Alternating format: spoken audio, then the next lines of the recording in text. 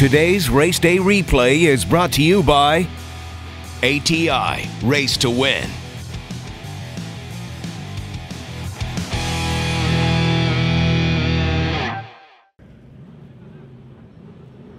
The T56 GM record. Frank Kalunas coming out of Toronto, Ontario, Canada.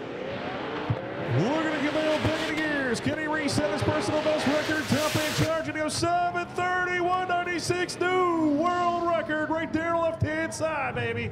Cutting edge technology, attention to detail, and rigorous testing under race conditions are the principles that make ATI Performance products great.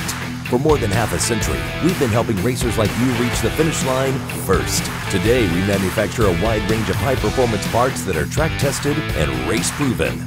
We're passionate about performance, and we want to make our passion your performance. Get the whole ATI Performance product story at ATIRacing.com.